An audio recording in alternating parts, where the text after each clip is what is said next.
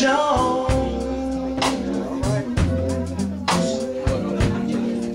got a thing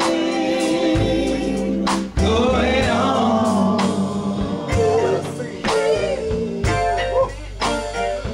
Well, we both know that it's wrong,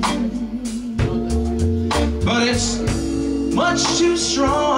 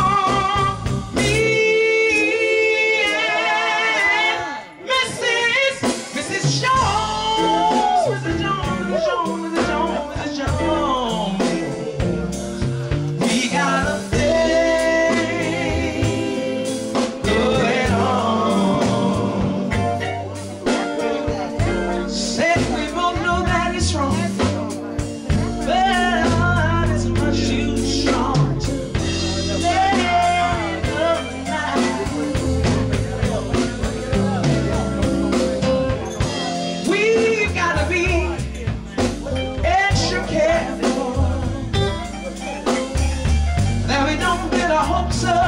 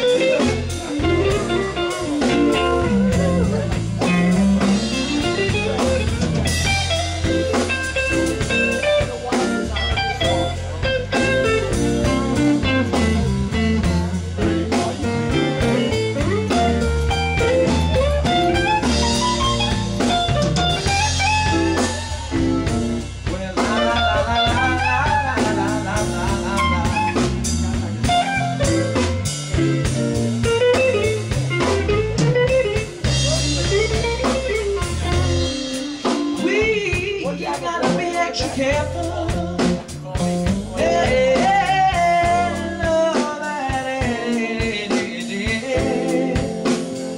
it's all right.